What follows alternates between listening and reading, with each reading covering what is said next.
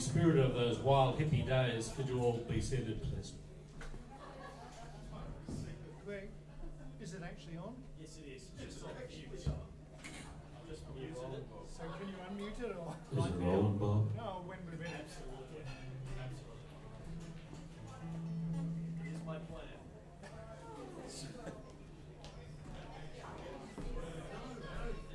To, um, to those of you who arrived a little late, um, the first half was really good. It's great.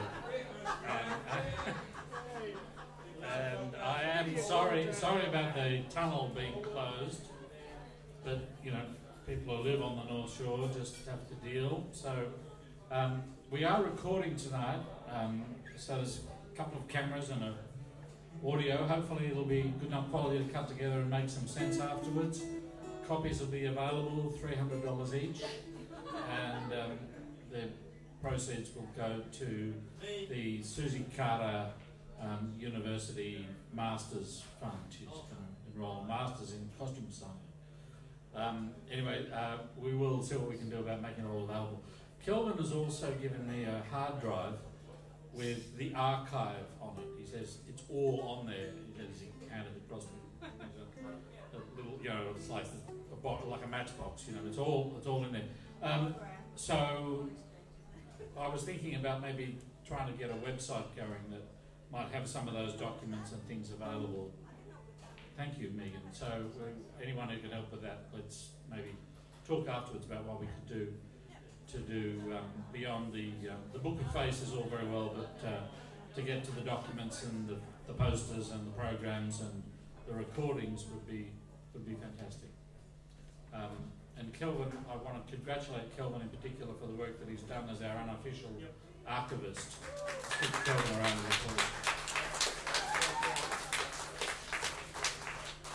Without Kelvin, this really all would be lost. It would all be gone and all just a shrug that you know it got damaged and got thrown out. So thank you, Kelvin. Thanks a lot. Um, so let's get underway with the second uh, half of this concert tonight.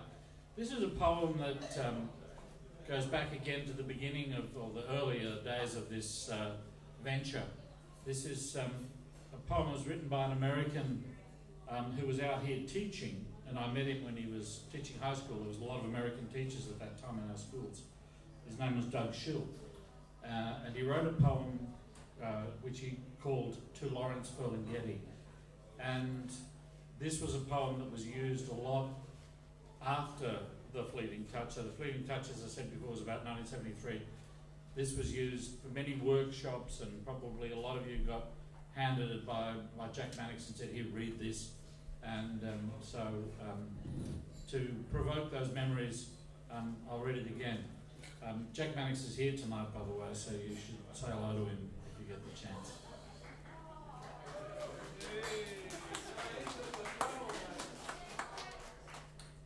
An empty auditorium is filled with phantom voices a soprano, a piano, a bassoon, practicing upstairs or behind or below. Sounds make curious syncopations. Pattern patterns heard only by me. So I am waiting for you, Lawrence Ferlinghetti, in this hollow box, because of a girl six years ago and 10,000 miles ago who lit my cigarette with a lighter that read in scratch letters, Even in heaven they don't sing all the time.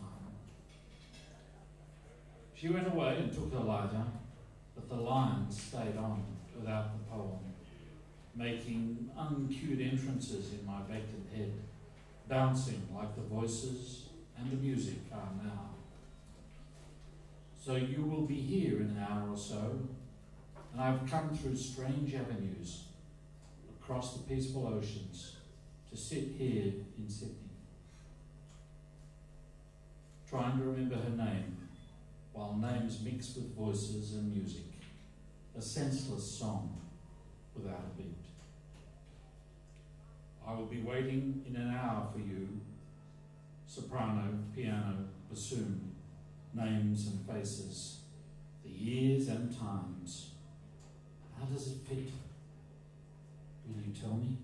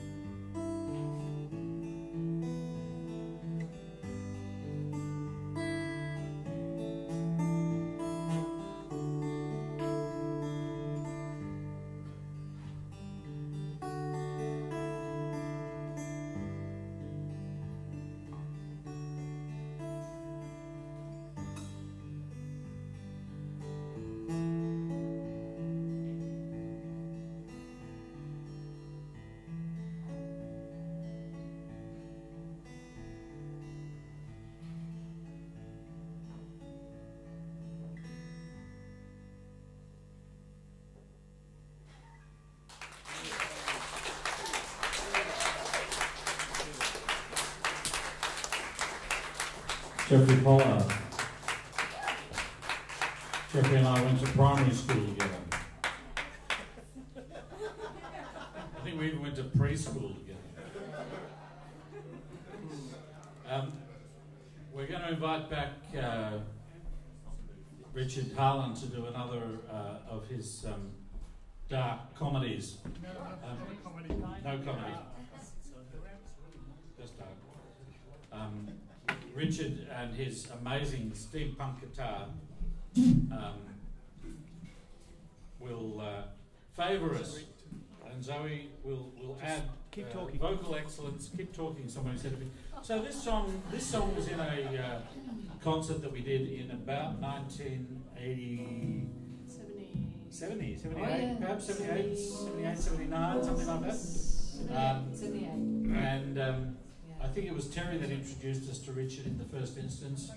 And um, Richard joined us for that particular concert in the Chapter House and did um, two extraordinary songs. Uh, we heard Otis Springs of Currents, and uh, uh, this, but this next song is, uh, I think, his masterwork, which. Um, and uh, how are we going, Mark? Still rewiring, okay. Um, we'll um, pass on to these guys. They can, Richard, you can tell us a bit about the song yourself and where it all came from. So, Richard Harland. Thanks.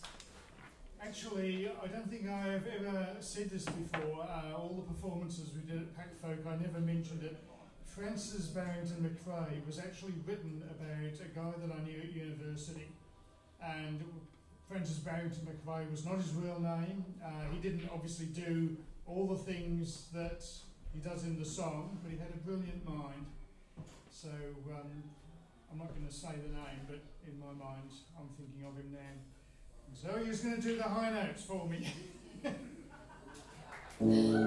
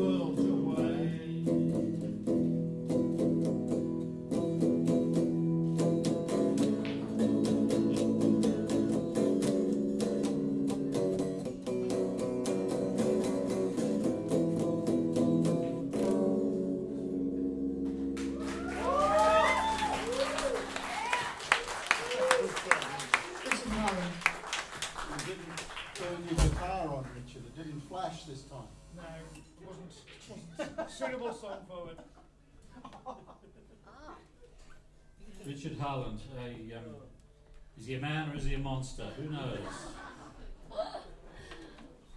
Fantastic. Richard and I are actually going to do a little poem now. Um, Ron van der Maiden, this is your bit. I, um, I sent Ron an email, I suppose, about I don't know, 20 minutes ago. I said, Ron, do you want to do this thing? Yeah, And uh, you gave him plenty of notice. I gave him plenty of notice. What do you reckon? So, anyway, this is um, in the spirit of not being fully prepared. This is um, just a bit of fun. We did, I, I remember doing this at Fast Colours down at the Australian Music Centre, and I remember doing it as a, um, a solo piece. I don't, I don't know why I remember that, but I just there were two two lights, and uh, the, the uh, Peter Az or someone sort of flicked between these two lights, and I did both parts. And then I think it was Zoe said when we were rehearsing, she said, "Yeah, you used to do it with Ron." I said, "Yeah, right." I? And uh, well, the more I thought about it, the more I thought, yes, I did do it with Ron. So I, I sent him that email, and um, by the time it had got through the university's, you know, spam filter, it was too late. Um, so, Ron, thank you for coming tonight, and I hope you enjoy this rendition. Richard has stepped in, kindly stepped in, to um, to do the part of uh, Rosencrantz, and this is uh, from Tom Stoppard's play, Rosencrantz and Guildenstern are Dead. Mm, It's dark, isn't it? Well, not for night, No, not for night. dark for day. Yes, it's dark for day. Oh, we must have sailed north, of course. Of course. Land of the midnight sun, that is. Of course. I think it's getting light. Well, not at night, This far north? unless we're off course. Mm, of course. Yes, it's, it's lighter than it was. It'll be night soon, this far north. Hmm, I suppose we'll have to go to sleep then. Tired? Hmm, No. I don't think I'd take to it. Sleep all night, can't see a thing all day. Those Eskimos must have a quiet life. Where? What? I, I thought you. I've lost all capacity for disbelief. I'm not sure if I could even rise to a little gentle skepticism. Hmm, well, shall we stretch our legs? I don't feel like stretching my legs. I'll stretch them for you if you like. No? We could stretch each other's legs. That way we wouldn't have to go anywhere. No. Somebody might come in. In where? Out here. In, out, here? On deck. Hmm. Nice bit of planking, that. Yes, I'm very fond of boats myself. I like the way they're contained. You don't have to worry about which way to go or whether to go at all. The question doesn't arise because you're on a boat, aren't you? Boats are safe areas in a game of tag. The players will hold their position until the music starts. I think I'll spend most of my life on boats. Yeah, very healthy. One is free on a boat. What's it like? Rough. I think I'm going to be sick. Uh, other side, I think.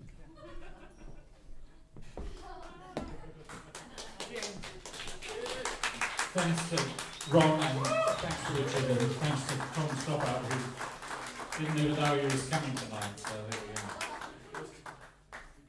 We never paid any royalties to anyone. It's a good thing we had so much fantastic original music. I could have afforded the rest. Again, according I, I, I left on the table some uh, sort of song sheets and uh, programs and things. So if you haven't passed those around, there's a few programs from Sound Travel and uh, Sound of People and Fleeting Touch and, and so on. And uh, they make interesting reading. I had no idea we did Gimme Shelter. Wayne did Gimme Shelter, the Rolling Stones. Yeah, yeah, I remember Yeah. Um, so, yeah. Camille sang that high, high note. Yeah. I remember, as David Ashley was saying, uh, he remembers stuff that didn't even happen. Wow. Yeah, I was there when it didn't happen. Um, I was waiting outside when it didn't happen. Okay, so If anyone feels the uh, urge to get up and form a very straight line and walk incredibly slowly and then just Oh no. yeah. I think uh, some of you know what I'm talking about.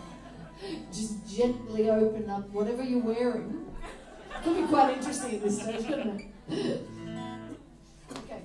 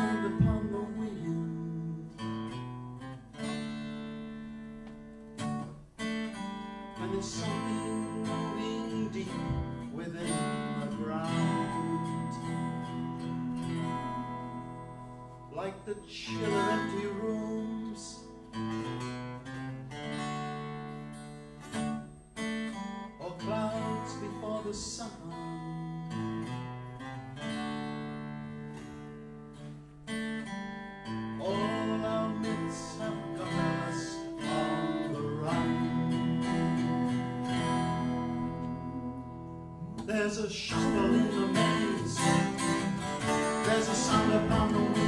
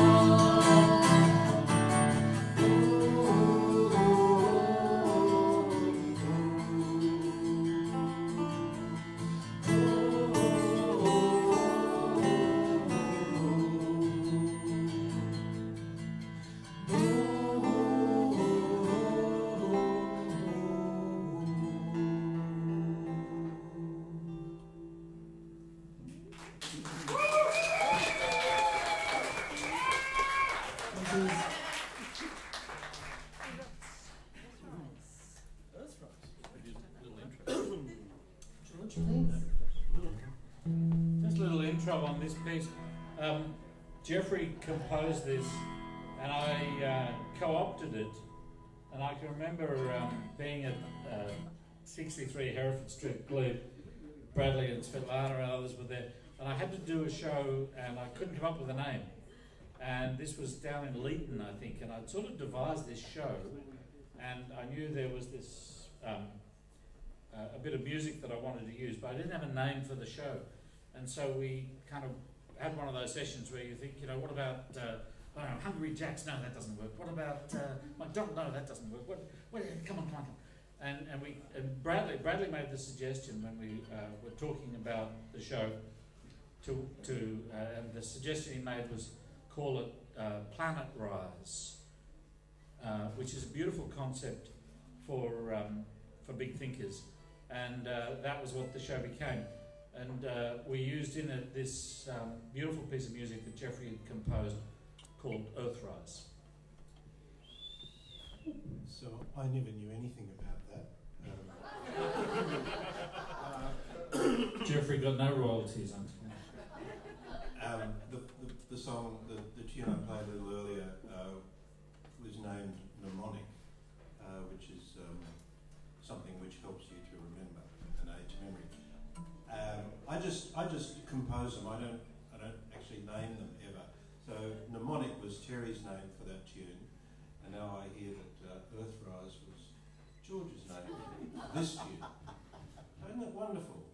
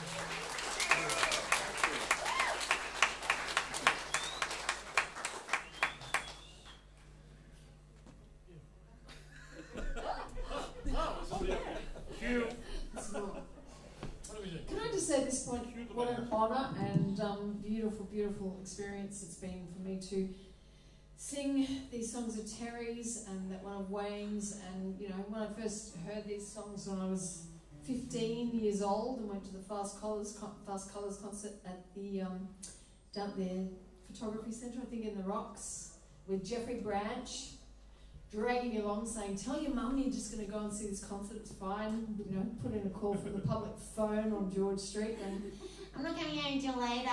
Come pick me up when I get the bus home? You know, that sort of thing. And um, it was just, it changed my life in incredibly um, profound way. And yeah, I mean, I, I couldn't believe the beauty in that room and the and the strangeness and the the you know just the uniqueness, the difference to my ordinary life at school. It was just a whole other world that Pat opened up, but especially this this concert this night with Terry and Wayne and Jeff was probably there. I don't remember meeting him that night, but um, Camille Gardner and Michelle Thompson and it was just um, and and Svetlana was flitting behind. You know, she was actually reciting Five Bells, that piece of that poem I did before, and um, her beautiful voice coupled with that poem, I'll never forget. So thank you all for coming tonight, and thanks Susie and Mark for helping us have it here for allowing us to go and convening.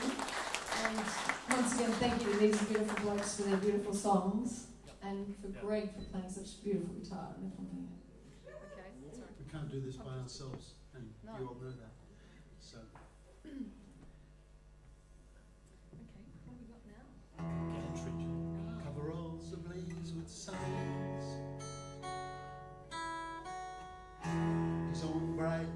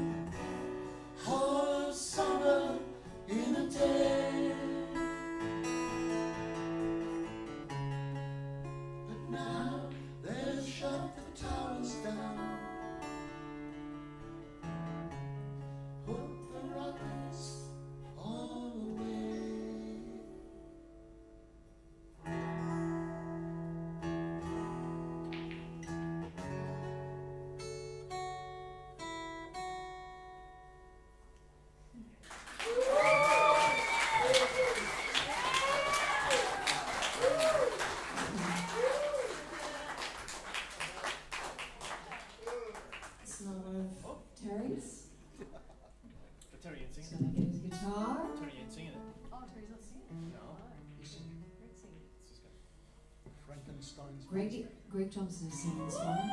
for What? Some people here know fans me. Okay, um, this is the, the incredible sagging music stand. You know, the joke one that goes. "Oh, sagging like many other things in the room. Oh, God. Are we?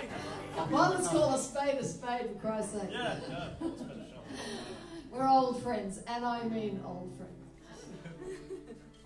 Almost like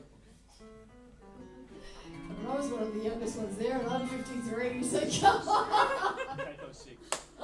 We signed non-disclosure agreements. Still G. Still G. Still G shape. Yep. All G.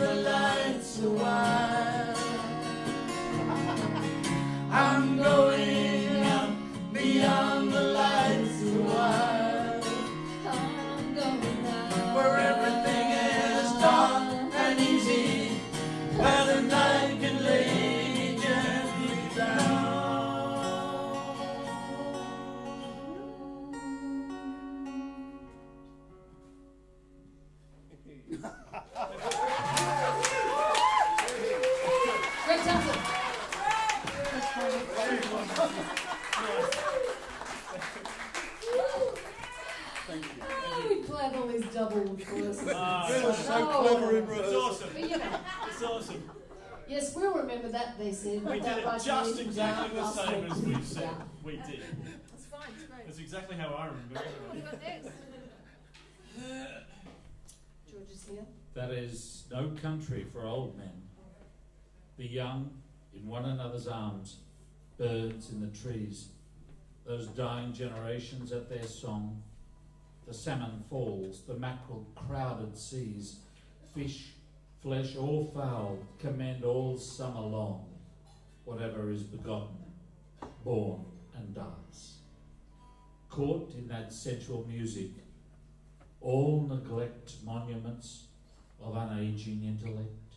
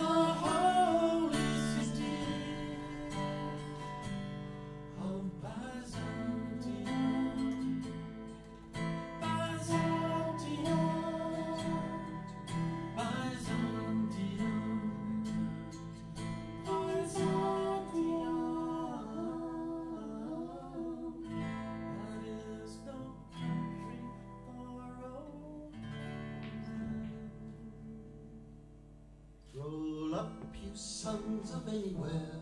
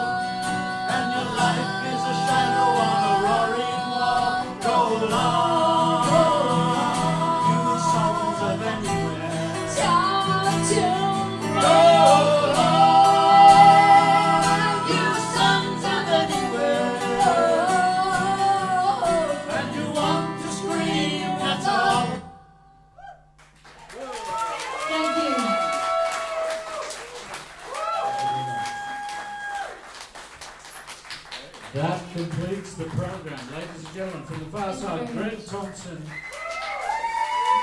Zoe Carides, Terry Garland, and Jeffrey Pollard.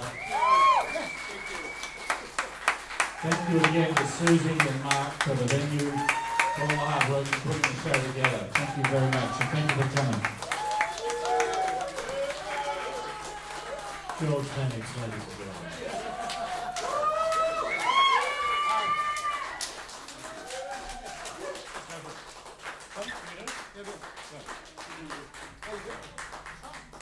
We got we got a little encore planned. Have we? Oh God. Let's stop. uh, Let's stop. Just we're going to try. Yeah, yeah, yeah, we're trying. You think this was Yeah, we we'll get it, we get it right this time. Acapella uh, chorus, yeah? on which one? Two after and middle. Yeah, we sing, Yeah. yeah, we sing one and then. Oh, yeah, yeah, yeah. acapella and then we- You see, we rehearsed this, and it's Join us You lead off on. tonight at 5 to 8. Okay. And this is. One more time. Sing along.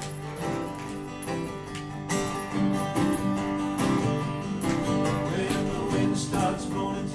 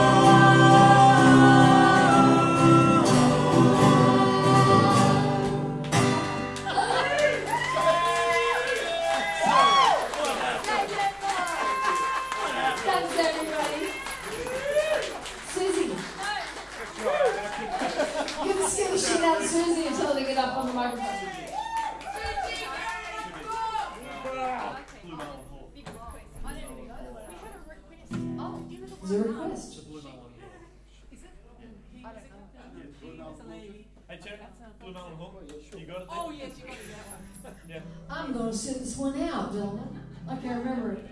Will I? You come up and sing it too then. Yes, you can.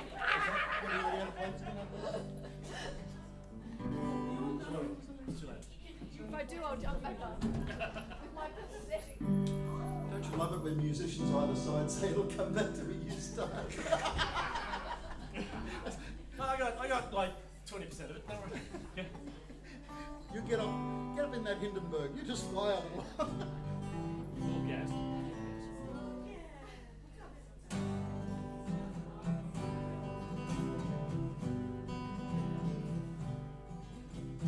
Here was a captain and she. this is going to be a great moment. Just waiting on. Just hang on. Do you remember Get Green? I do. Yeah. Oh, you played. Not to play. No, not playing. No, you keep changing the Remember, it's record. good. Jerry, it's good. I can't sing to save a life. Guitar. Suzanne's going to join us on It's not life saving lessons, it's just singing. Suzanne can't seem to save her life, apparently, but um, she can save ours. Oh God, no. Do you remember the words? Yeah, I've got a good thank you. I just I kind of I kind of need to be able to see Terry. Oh, okay. Terry, sorry. Step back, back in, then we can do the chorus behind.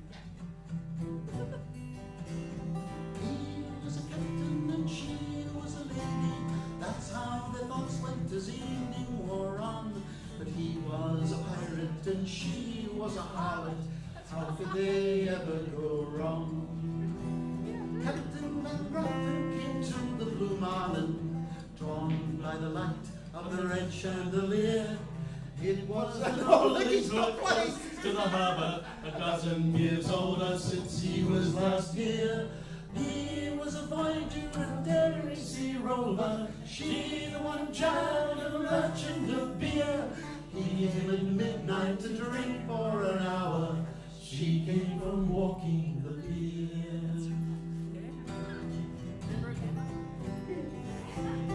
It was a wild night and then in the morning she turns to him with a tender reply. His question that her name is Jenny. Watches the memory that clouds up her eye. She's a young girl I can remember. I would have married had her heart been true. Jenny reminds him there's always a young girl, and have their memories too. He was a captain and she was a lady. That's how the thoughts went as evening on. But he was a pirate and she was a harlot. How could they ever go wrong? He said, Dear Jenny, I need you to tell me if you are that lost one I really should know. He replies, laughing, does it really matter? The past that is over is a long time ago. And you were a voyaging and daring sea rover, and I never knew what it meant to be free. Let the past go now that I am your lover, and you can come home from the sea. Go, great!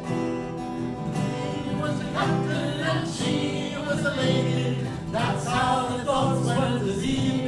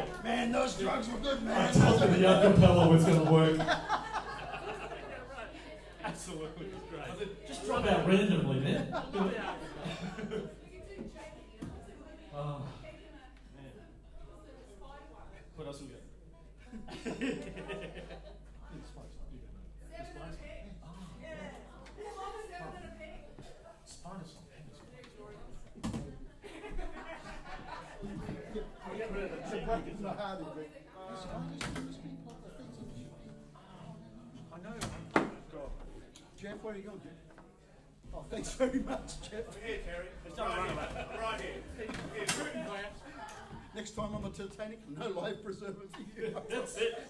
Yeah. Now, spiders to most people are things that we should fear. But there are spiders and there are spiders, and the distinction isn't clear. Some are cannibals with mandibles, while others are so shy. It scared the pants of a Galabian and wouldn't harm a fly. Now there's a special spider I'd like you to meet, who had the sad misfortune to lose one of his feet. A rabbit praying mantis sitting off at the knee. You'll recognize the spider because he walks a bit lopsided, you see. Poor old Seven and peg, fancy being a spider with a wooden leg. Can't run, can't even dance. The bugs can hear you coming, so you don't stand a chance. He came upon the little girl eating curds and whey. He hobbled up beside her just to frighten her away. She stood up quickly, screamed out loud and looked around for a stick. He tried to run but it couldn't be done and she squashed him with a brick. Oh. Poor old Seven and a peg, fancy being a spider with a wooden leg. Can't run, can't even dance. The bugs can hear you coming, so you don't stand a chance. I know, I think the last verse was a great ending, wasn't it? We're going to reprise the Coming to second my verse. father, said our spiders and flies. They doubled up with laughter as the tears rolled from their eyes. His poor old web was full of holes, the insect flew right through. For weaving a web with a wooden leg is pretty hard to do. Poor old Seven and a peg, fancy being a spider with a wooden leg. You can't run, can't even dance. The bugs can hear you coming, so you don't stand a chance. Poor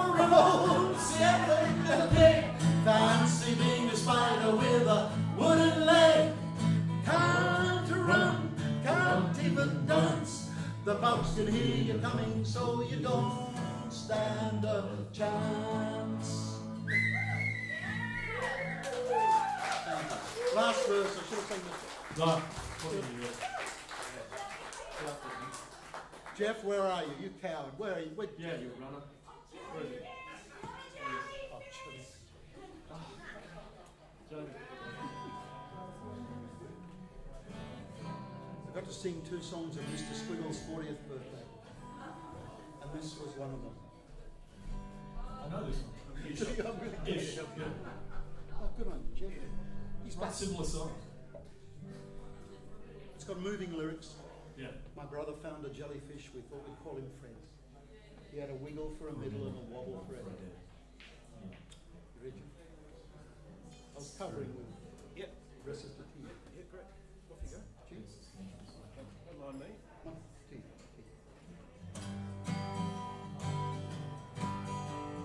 brother found a jellyfish, we thought call him Fred. He had a wiggle for a middle and a wobble for a head. While we all on a skeleton, Fred was boneless through and through. He couldn't do a lot of things we bony folk could do, cause there were no bones. no bones about it, there were no bones.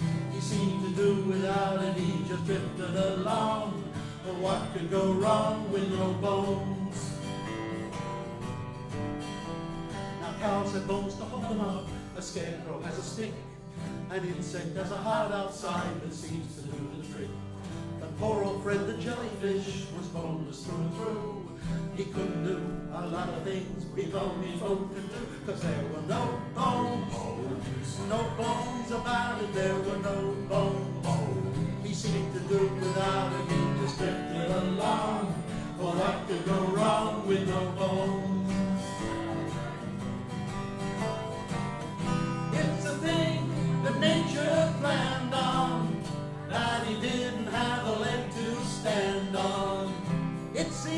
He had it made, just float round after dinner and keep out of the shade. The cows are supposed to hold them up, the scarecrow has a stick, an insect has a heart outside that seems to do the trick.